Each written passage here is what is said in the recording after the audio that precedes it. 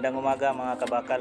Gagawa po ako ng multi-purpose bag and coat hanger. Yan po ang ginagamit gagamit ko sa brace para sa paa niya mga kabakal. Puputol po tayo ng 45 cm tatlong piraso po para sa paa. Corrugated bar po yung ginagamit ko.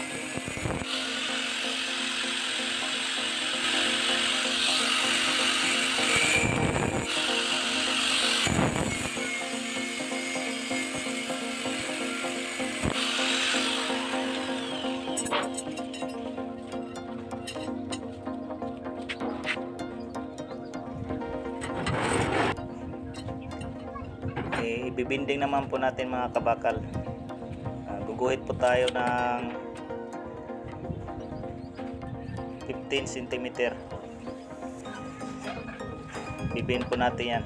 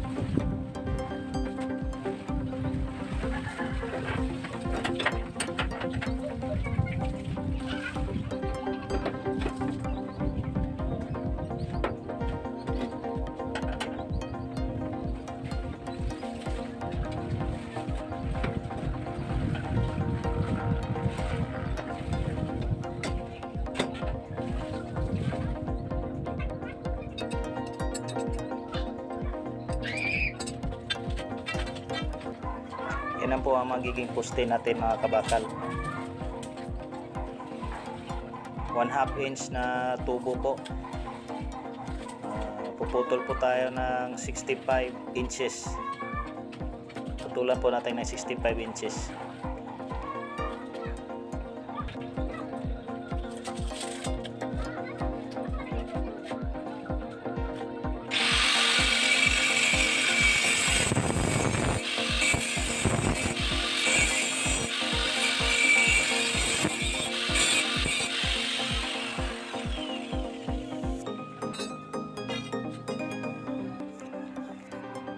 pipita po yung binin natin na corrugated bars kanina. Para sa paa po. Hatiin mo hatiin po natin yan ng tatlo.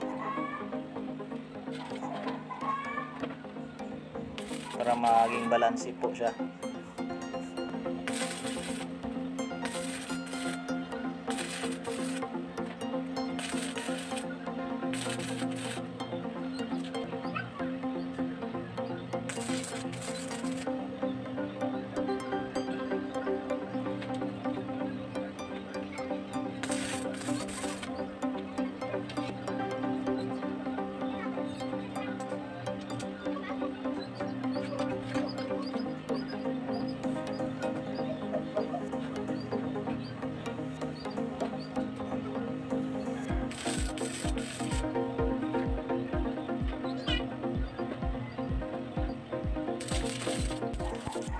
lalagyan pa po natin ng brace yan.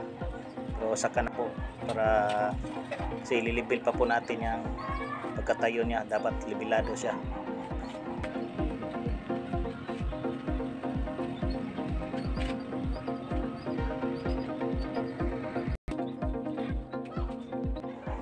Puputol po ulit tayo ng 45 cm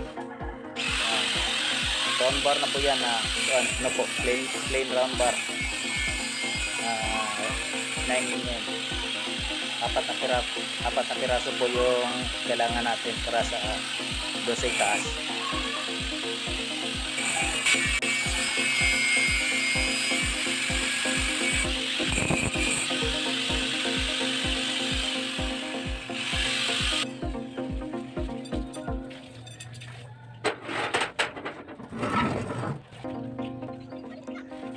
ibibinda naman, na naman po natin yan.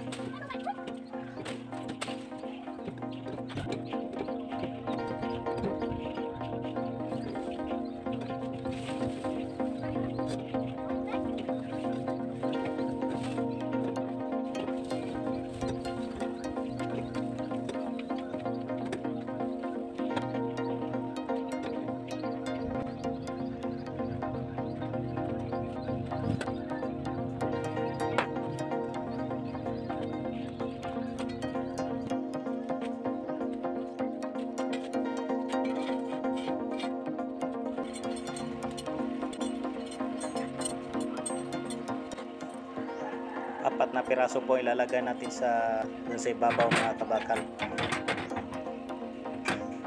Pipitap na po natin yan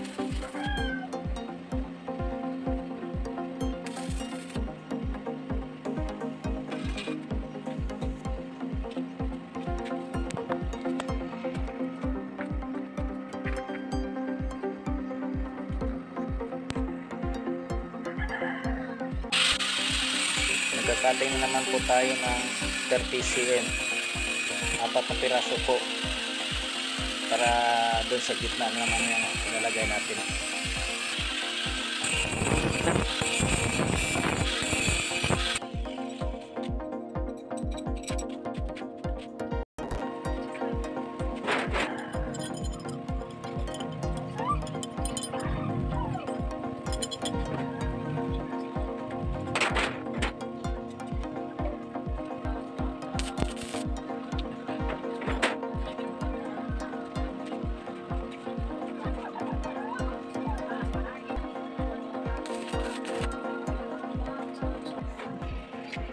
ganyan na po magiging forma mga kabakal.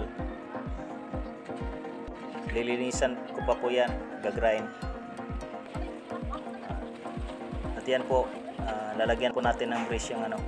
Dapat gumawa po ako ng tiles para maging level po.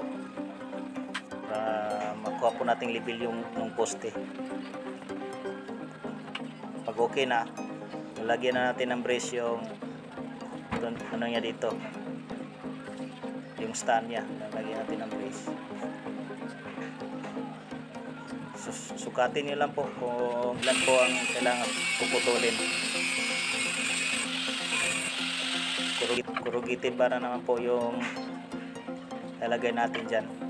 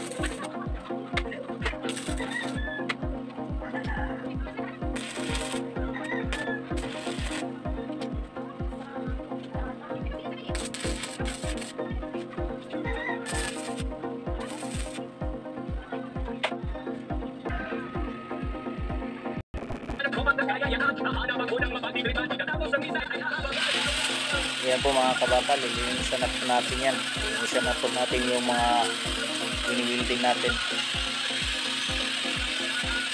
Katapos po yan, pipinturahan na po.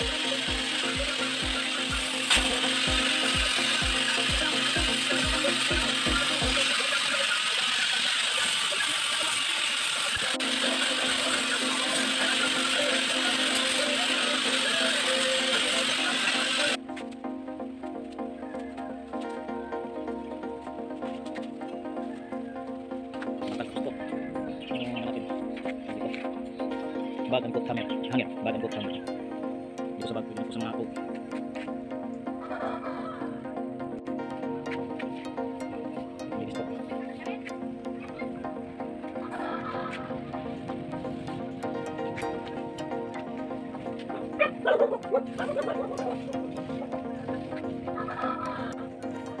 Maraming salamat po mga kabakal sa panonood nyo sa buong video.